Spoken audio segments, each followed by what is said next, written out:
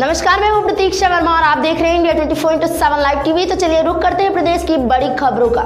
समदड़ी तहसील क्षेत्र के सैकड़ों किसान एकत्रित होकर तहसील कार्यालय पहुँचे, जहाँ कानाराम चौधरी के नेतृत्व में तहसीलदार राकेश जैन के मार्फत किसानों की विभिन्न समस्याओं को लेकर मुख्यमंत्री के नाम ज्ञापन सौंपा गया। वहीं ज्ञापन में पूर्व सरपंच बाबूलाल परिहार ने बताया कि पिछले एक माह से लगातार टिड्डी दल आक्रमण कर रहे हैं तथा हाल ही में बोई गई खरीफ की फ़सलों को टिड्डी दल चौपट कर रही है।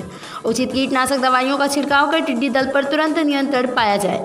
किसान जो प्रभारी आशाराम चौधरी ने बताया कि पाली ज़िले की औद्योगिक इकाइयों का प्रदूषित पानी समदड़ी लूनी नदी में छोड़े जाने से क्षेत्र के भूमिगत पानी को प्रदूषित कर रहा है।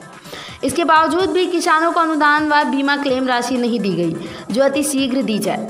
भारतीय किसान संघ तहसील मंत्री अशोक कुमार माली ने बताया कि वर्ष 2020 में खरीफ फ़सलों की बुआई हेतु किसानों को अभी तक सरकारी ऋण और उपलब्ध नहीं कराया गया जिससे किसानों को बीज खरीदने के लिए भी मुसीबतों का सामना करना पड़ रहा है। इस दौरान सैकड़ों किसान मौजूद रहे। India twenty four into seven live TV के लिए शैतान सिंह माली की रिपोर्ट। है किसके निर्मित है और किसकी आपकी क्या मांगे? ये हमारे भारतीय किसान संघ पूरे प्रदेश में आज की तारीख में हर मुख्यालय हेडक्वार्टर पे खासकर अपनी पीड़ा को लेकर तहसील तक पहुँचे हैं कि हमारा जो वर्तमान में इस कोरोना के तहत में जो बिल माफ़ करे काश्तकारों के और पूर्व सरकार ने जो आठ सौ तैंतीस मंथली हर बिल में माइनस होकर सरकार की अनुदान राशि आती थी, वो भी नहीं आ रही है।